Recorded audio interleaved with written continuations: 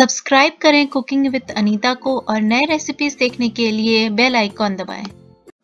Hello, नमस्कार, स्वागत है हमारे YouTube channel cooking with Anita में आज मैंने अपने किचन में एक राजस्थानी सब्ज़ी, मोगरी की सब्ज़ी बनाई हूँ, जिसे आलू मटर के साथ मैंने बनाया वैसे तो इस सब्ज़ी को सिर्फ़ आलू के साथ या सिर्फ़ मटर या मूंग की जो मंगोड़ी आती है, उसके साथ बनाते हैं। लेकिन आज मैं आलू और मटर थोड़े थोड़े मिक्स करके बनाई हूँ। ये सब्ज़ी बहुत जल्दी बन जाती है और बहुत ही स्वादिष्ट बनती है। आप इसे बाजरी का सोगरा मक्के की रोटी या दाल, चावल, रोटी किसी के साथ भी खा सकते हैं। बहुत ही लाजवाब सब्ज़ी लगती है और बहुत जल्दी बन जाती है। तो चलिए हमारे किचन में मिलकर बनाते हैं। इस मोगरी आलू मटर की सब्ज़ी को, लेकिन किचन में जाने से पहले आपसे रिक्वेस्ट है कि आप हमारे इस वीडियो को देखें, लाइक करें, सब्सक्राइब करें और कमेंट बॉक्स में कमेंट ज़रूर डालें तो चलिए हमारे किचन में मिलकर बनाते हैं आलू मटर के साथ मोगरी की सब्ज़ी को।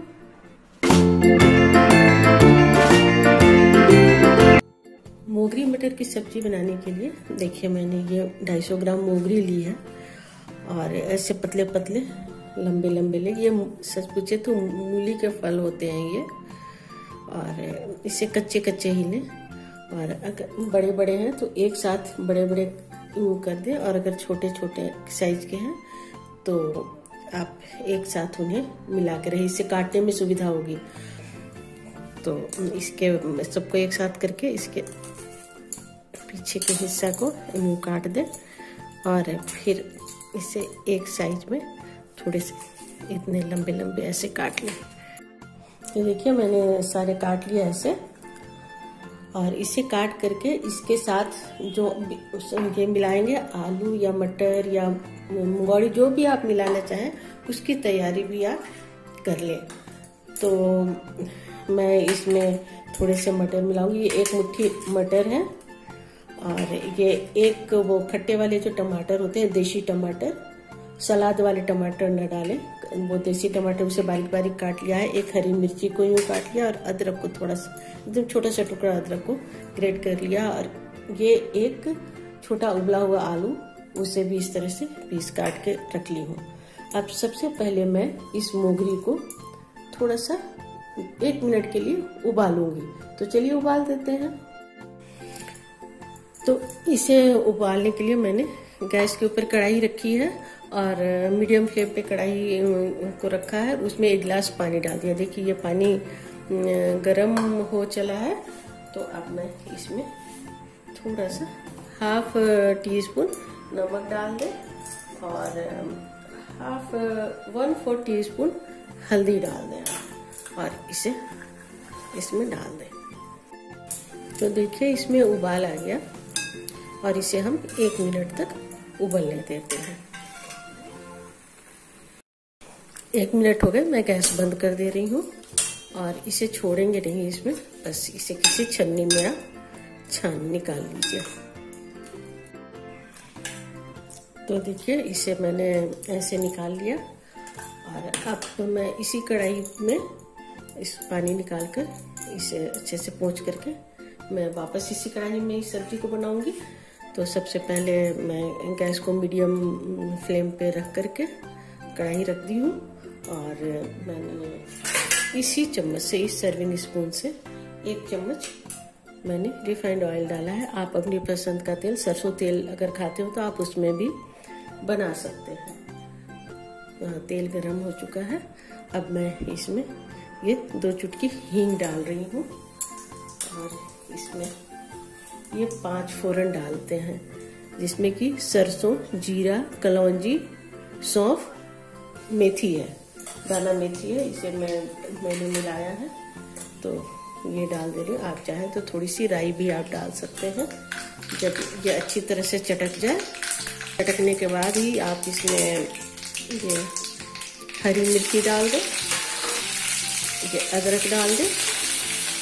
और ये छोटी लाल मिर्च है, मैं इसे भी मिला रही हूँ। हल्का सा चला लें आप। गैस को सिम कर दें और इसमें हाफ़ टी स्पून हल्दी पाउडर पहले डाल दें। और ये जो मैंने उबले हुए आलू लिए थे ना, वो वो डाल दे रही हूँ। ये मटर डाल दे रही हूँ। और इसे 30-35 सेकंड इसे, इसमें भूनिए गैस को। थोड़ा सा लो मीडियम फ्लेम पे कर दें। तो देखिए ये आलू और मटर भुन गए अच्छी तरह से। अब इसमें ये जो टमाटर काटे थे ना मैंने, वो टमाटर डाल दे रही हूँ। और आप इसमें स्वाद के हिसाब से आप नमक डाल दें, मिला दें, और टमाटर को हल्का सा गल जाने दें। इसे 30-35 सेकंड के लिए ढक दें। तो देखिए, ये 35 सेकंड हो गए। मैं ढक्कन हटा दे रही हूँ। और देखिए, ये टमाटर भी गल चुका है अच्छी तरह से। मोगरी जो है, उसे इस पर डाल दे रही हूँ। अब इसमें मैं सारे मसाले डालूँगी। तो हल्दी तो मैं डाल ही चुकी हूँ। अब इसमें थोड़ा सा तेज मसाला चाहिए होता है। मैं लगभग दो टेबल स्पून इसमें धनिया पाउडर मिलाई हूँ और थोड़ा सा तीखा चटपटा अच्छा लगता है ये। तो वन टेबल स्पून में इसमें लाल मिर्च पाउडर मिला रही हूँ। हाफ़ टी स्पून अमचूर पाउडर मिला रही हूँ। ये हाफ़ टी स्पून गरम मसाला पाउडर मिला रही हूँ। नमक तो ऑलरेडी मैं मिला ही चुकी हूँ। बस इसे आप चला लें और लेकिन गैस को आप सिम कर दें। मसाले वसाले डालने के बाद गैस को बिल्कुल सिम कर दें। वापस इसे 30 से 35 सेकंड के लिए ढक दें। और ये सब्ज़ी बस बना कर रखे नहीं, इसे गरम गरम ही खाएँ। जब खाने की पूरी तैयारी हो जाए तो इस सब्ज़ी की भी तैयारी करके रखें और बस बनाएँ। बिल्कुल 10 मिनट के अंदर ये सब्ज़ी बनके तैयार हो जाती है। तो देखिए, सिम पे मैंने 35 सेकंड इस पकाया और ये सब्ज़ी बनकर तैयार हो गई है। बस मैं इसे वापस ढक देती हूँ और गैस को बंद कर देती हूँ। और चलिए इसे गरा गर्मा गर्म सर्व करते हैं। तो देखिए, आलू, मटर और मोगरी की सब्ज़ी बनके तैयार हो गई। एकदम चटपटी और चटाकेदार सब्ज़ी है। आप इसे किसी भी सीज़न में खाएँ, ये अच्छी ही लगती है और खासकर सर्दी के दिनों में तो ये बहुत ही अच्छी लगती है।